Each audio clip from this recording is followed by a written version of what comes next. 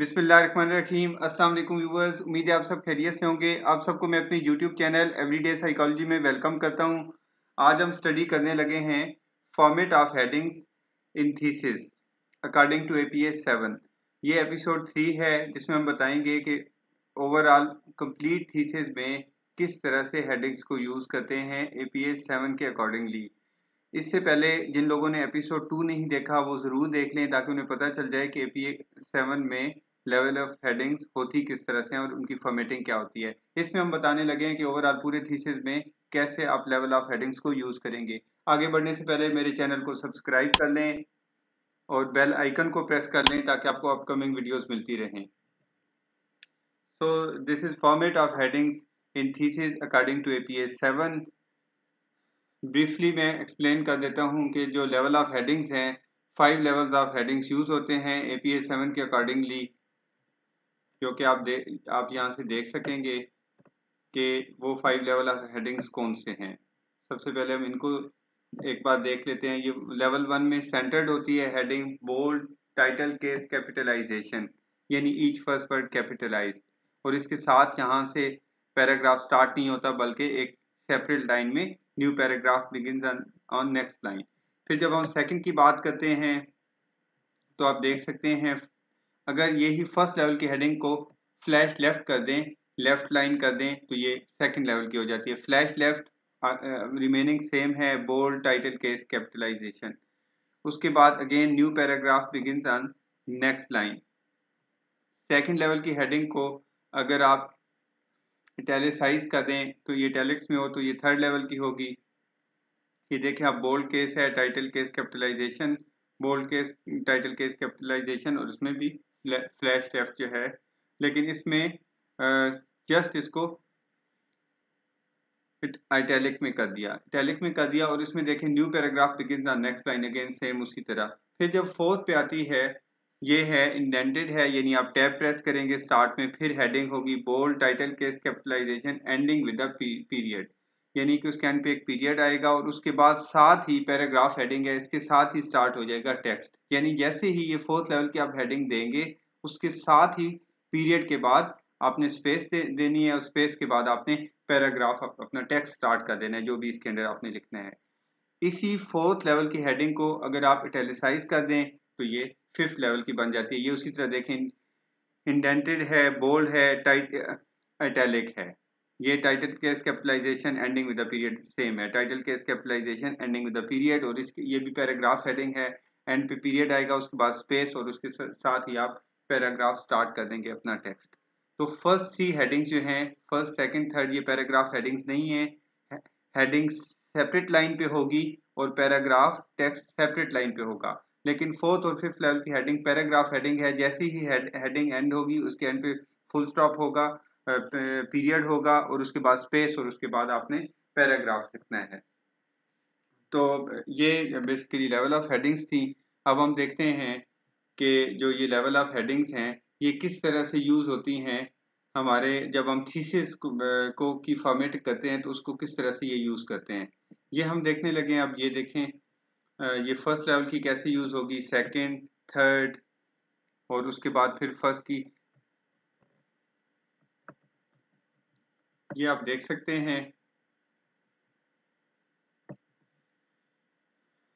Level of heading level one heading tight आपकी title of the research जो है, वो लेवल वन वन हेडिंग है। ये आप देखें। एक ये सेंटर्ड है, ये आप देख सकते हैं। ये सेंटर्ड है सेंटर्ड के बाद ये बोल्ड फेस है और ये टाइटल केस कैपिटलाइजेशन यानी ईच फ़र्स्ट वर्ड कैपिटलाइज उसके बाद आप देख सकते हैं इसको। कि ये जो हेडिंग है, इसमें आप देखें कि ये एब्स्ट्रैक्ट जो है एब्स्ट्रैक्ट की हेडिंग और उसके बाद इंट्रोडक्शन की, इस तरह से आप देखें लेवल वन हेडिंग है मेथड रिज़ल्ट डिस्कशन और रेफरेंसेस तो बेसिकली ये जो हेडिंग्स हैं सेवन सेवन हेडिंग्स आपके थीसिस में ये फ़र्स्ट लेवल की हेडिंग होंगी. मैं दोबारा बताता हूँ सेंटर्ड यानी बिल्कुल सेंटर में होगी आपके पेज के डॉक्यूमेंट के वर्ड के। बोल्ड फेस बोल्ड होगी टाइटल केस कैपिटलाइजेशन जिसको आप ईच फ़र्स्ट वर्ड कैपिटलाइज भी कहते हैं। ये जैसे आप देख सकते हैं ईच फ़र्स्ट वर्ड कैपिटलाइज है। Title case capitalization T and R R capitalize और centred bold face title case capitalization होगी, और इसके नेक्स्ट यानी इस लाइन पे नेक्स्ट आप कुछ नहीं लिखेंगे, इसके बाद जो नेक्स्ट लाइन होगी, उस लाइन पे आप अपने जो आपने टेक्स्ट लिखना है वो लिखेंगे। तो ये हेडिंग्स आपने याद रखनी है। इनमें से जो दो मेन हेडिंग्स हैं जैसे एक है title title of the research और एब्स्ट्रैक्ट इसके बाद आप देखेंगे हमारे मेन चैप्टर्स होते हैं थीसिस के इंट्रोडक्शन मेथड रिज़ल्ट डिस्कशन और एंड पे रेफरेंसेस तो ये तमाम हेडिंग्स येलो कलर में देखें आ, मैंने बताया है कि ये तमाम हेडिंग फ़र्स्ट लेवल की हेडिंग्स होंगी। तो आप अपने थीसिस में एक ही बार में चेक कर सकते हैं कि ये फ़र्स्ट लेवल की हेडिंग्स हैं या नहीं। फिर आ जाती है सेकंड लेवल की हेडिंग ये इंट्रोडक्शन के नीचे आप देखें हेडिंग होती है, आपके अगर तीन वेरिएबल हैं फॉर एग्जांपल तो आप देखें फ़र्स्ट वेरिएबल नेम यानी आपको फ़र्स्ट वेरिएबल का आपने नेम लिखा, फिर सेकंड का लिखा, फिर थर्ड का लिखा। आपको मैंने पहले बताया कि जो फ़र्स्ट लेवल की हेडिंग है, उसको अगर लेफ़्ट लाइन कर दें फ्लैश लेफ़्ट तो वो सेकंड बन जाती है। तो सेकंड में क्या है? अगेन वही होगी। फ़र्स्ट में क्या थी? बोल्ड फेस तो आप देखें ये बोल्ड है, और उसके बाद सेकंड थी टाइटल केस कैपिटलाइजेशन और इन आप देखें ईच फ़र्स्ट वर्ड कैपिटलाइज सबका फ़र्स्ट वर्ड कैपिटलाइज है फ़र्स्ट वेरिएबल नेम और उसके बाद ये लेफ़्ट लाइन है। इसको जस्ट लेफ़्ट लाइन किया है तो ये सेकंड लेवल की हेडिंग बन गई। इस तरह first variable name second variable name third variable name उसके बाद रैशनल की हेडिंग कंसेप्चुअल फ्रेमवर्क की heading objectives hypothesis and operational definitions ये हेडिंग सेकंड लेवल की होंगी। फिर आप आगे देख सकते हैं कि जो हेडिंग्स हैं कौन कौन सी सेकंड लेवल की हैं। ये आप देखें। पार्टिसिपेंट्स मेयर्स और उसके बाद प्रोसीजर आपके मेथड में ये तीन हेडिंग्स जो हैं, ये सेकंड लेवल की होंगी। पार्टिसिपेंट्स मेयर्स और प्रोसीजर फिर आपके डिस्कशन में implications and future directions limitations and future directions implications और कंक्लूजन की हेडिंग सेकंड लेवल की होगी। तो इस तरह से ये आपको पता चल गया कि ये सेकंड लेवल की हेडिंग्स होंगी, जिसमें आप देख सकते हैं कि इंट्रोडक्शन में वेरिएबल के मेन जो वेरिएबल के नेम्स हैं, उसके नीचे फिर सब हेडिंग्स भी हो सकती हैं, लेकिन अगर आप मिनिमम ये है कि आप अपने तीनों वेरिएबल्स को, से रिलेटेड जो लिटरेचर रिव्यू है, उसको डिस्क्राइब करते हैं फ़र्स्ट वेरिएबल सेकंड थर्ड फिर रैशनल आ जाता है, जिस, और उसके बाद कंसेप्चुअल फ्रेमवर्क फिर ऑब्जेक्टिव्स हाइपोथेसिस और फिर ऑपरेशनल डेफिनेशन अब थर्ड लेवल की हेडिंग देखते हैं। ये आप देख सकते हैं अब ऑपरेशनल डेफिनेशन की जो सब हेडिंग होंगी first variable name second variable name third variable name अब ऑपरेशनल डेफिनेशन आपने फ़र्स्ट वेरिएबल जो था उसकी लिखी, फिर सेकंड वेरिएबल की लिखी, फिर थर्ड वेरिएबल की लिखी, ये ये थर्ड लेवल ऑफ़ हेडिंग है। इसी तरह जब मेयर्स की नीचे मेयर्स सेकंड लेवल की हेडिंग थी और उसके नीचे आपने first scale name second scale name और थर्ड स्केल नेम ये तीनों जब आपने लिखी तो ये भी थर्ड लेवल की हेडिंग थी।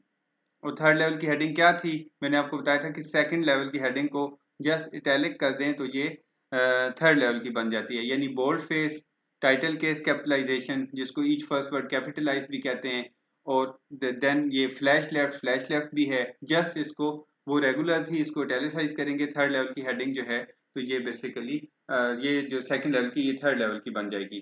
तो इस तरह आप देख सकते हैं कि हमारे इंट्रोडक्शन में अगर आपके इंट्रोडक्शन में आप वेरिएबल्स के नीचे सब हेडिंग्स नहीं यूज़ करते मेन वेरिएबल्स की जस्ट नेम लिखते हैं तो फिर थर्ड लेवल की नहीं आएगी, लेकिन मोस्टली लोग यूज़ करते हैं तो थर्ड लेवल की भी आती है इवन फोर्थ की भी और फिफ्थ की भी।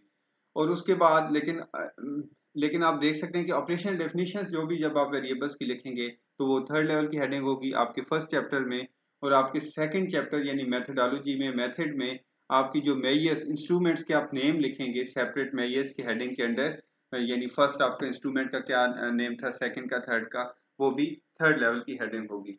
इस तरह से ये हम जो डिफरेंट लेवल ऑफ़ हेडिंग्स हैं, वो यूज़ करते हैं ए पी एस सेवन के अकॉर्डिंगली तो अब ये आप येलो कलर से देख सकते हैं कि ये ये आपकी तीनों हेडिंग्स यानी title abstract introduction method result discussion और रेफरेंसेस ये फ़र्स्ट लेवल की हैं। फिर आप ये देख सकते हैं, ये जो सेकंड लेवल की हेडिंग सारी हाईलाइट की हुई हैं, ये आप देख सकते हैं। फिर आप देख सकते हैं ये स्काई ब्लू कलर में थर्ड लेवल की हेडिंग्स इस तरह से आप अपने थीसिस की कंप्लीट हेडिंग्स को खुद चेक कर सकते हैं कि क्या आपने सही हेडिंग्स अपने थीसिस में दी हैं या थीसिस में नहीं। आपने अपनी सही से आपने हेडिंग्स जो हैं उनको वहाँ पे प्रॉपरली फॉर्मेट नहीं किया। अब आपको मैं एक एग्जांपल के तौर पे दिखाता भी हूँ कि अगर एक एक टाइटल था तो उसमें से कैसी हेडिंग्स होनी चाहिए थी तो फिर आपको ज़्यादा बेहतर अंडरस्टैंड करने में मदद मिलेगी। ये आप देख सकते हैं कि ये आप देख देख सकते हैं कि ये title title of the research और ये टाइटल ऑफ़ द रिसर्च लिख दिया।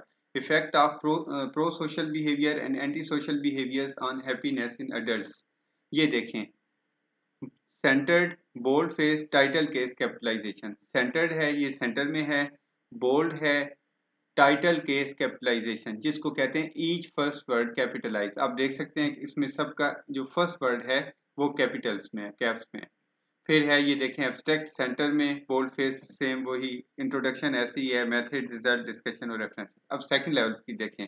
मैंने लिखा था first variable name second variable name third variable name pro social behaviour first variable name anti social behaviour second variable name happiness is third variable name अब इसके नीचे ज़ाहिर है, इसका लिटरेचर रिव्यू आएगा, फिर रैशनेल ये टिपिकल हेडिंग्स हैं जो तमाम थीसिस में होती हैं mostly rationale conceptual framework objectives hypothesis operational definitions अब ऑपरेशनल डेफिनेशन में क्या लिखा था कि फ़र्स्ट वेरिएबल की सेकंड वेरिएबल की और थर्ड वेरिएबल की operational definition first was pro social behaviours anti social behaviours और हैप्पीनेस ये देखें, ये बोल्ड फेस्ड है लेफ़्ट फ्लैश लेफ़्ट है और टाइटल केस कैपिटलाइजेशन है और इटैलिक में है।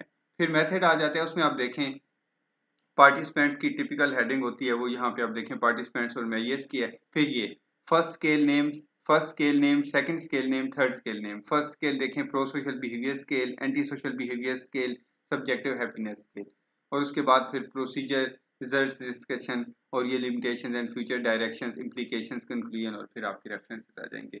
इस तरह से ये आप सिक्स लेवल जो फाइव लेवल्स ऑफ़ हेडिंग्स हैं, उनको बेसिकली उनके अकॉर्डिंगली अपने जो अपना थीसिस है, उसको फॉर्मेट कर सकते हैं।